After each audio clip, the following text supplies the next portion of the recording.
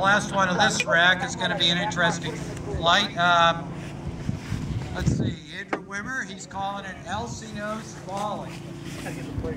And this has a whole bunch of motors in it. I'm not even sure which one's going first, but I'm start reading off the uh, flight card here. It has one I-345 white motor, two F-50 skids at 200 feet, three E12 eights at three seconds, and just to push it up over the edge, one C65 at six seconds. This has one, three, six, seven motors. I can even count that. Andrew is an MIT graduate, so you can do the math on this and go figure why he made it so overly complicated and actually expects him to work. I never said that. Uh, let's see, he has just about every box checked off here. no, I have Roadless every box. apogee, backup drogeless, uh, nose cone. Uh, two egg timers, a pet two, and a stratologger. You've been really liking that egg timer, haven't you? Pretty fun. Streamer at 1200, I really gotta at one. 300, back up at 200, and it crashes on the ground. Okay, we got it all.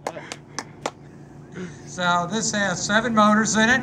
It's going to do four different things I hope you before do well it with it. recovers. But I am Um, going to laugh if, it, if I don't, just so you know. That's fine. it's nothing personal. do four or five more things before it actually hits the ground. So you want to be watching this and uh, keep your eye on it.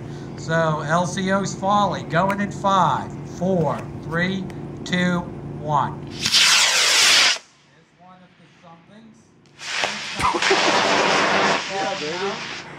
Oh. Uh, We're okay. going far to fetch Cruise that. missile. Okay, it's still burning while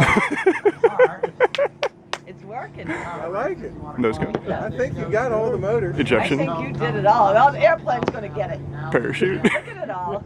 Tangled mess and it's right under a Should be another parachute soon. Uh, what else could it go wrong? What else could go on there by right? Yeah. That was perfect. All right. Yeah, I can hear Gloria work. work. There should be another parachute somewhere. Plus, it's gonna land in the corner.